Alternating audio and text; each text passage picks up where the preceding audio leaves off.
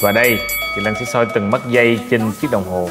Đây là phần chỗ cốt để tháo mắt dây và hiện trạng là chưa được tháo, chưa được đưa vít vào để vặn. Mình phải kiểm tra kỹ như vậy đó để đảm bảo quyền lợi cho khách hàng. Rồi tiếp đến mình sẽ soi thẻ để xem những cái thông số trên thẻ này có đúng chuẩn chưa hay là đã bị xử lý hay là không có chuẩn. Thì chúng ta sẽ đặt thẻ vào máy soi để xem từng cái số trên cái thẻ này. Rồi đến từng cái số series này có được xử lý hay như thế nào hay là góc chuẩn tất cả số series này đều chuẩn chỉnh. Và đét cũng vậy mình sẽ soi từng cái nét kim tuyến trên cái chỗ ô trắng mà để ghi cái đét này thử xem có bị dán chồng lên hay là bị à, xử lý rồi. Wow đúng là chuẩn chỉnh rồi. Tiếp đến một bước nữa bây giờ mình sẽ soi soi cái thẻ này xem thẻ thật hay là thẻ giả qua một thiết bị một thiết bị chuyên dụng. Bây giờ chị Lan sẽ cầm cái thẻ này để mà đưa vào thiết bị chuyên dụng này để mình soi. Wow đây phần này đây là một khoảng trống. Khi chúng ta nhìn mắt thường thì không thấy gì hết. Và bây giờ Lan sẽ đưa vào chiếc máy này. Thì ngay lập tức chúng ta sẽ thấy một cái ô màu xanh có họa tiết nổi lên trên. Vậy Lan xin che cái thẻ này lại, che thông tin ở dưới đây lại. Vì đây là thông tin số series của đồng hồ.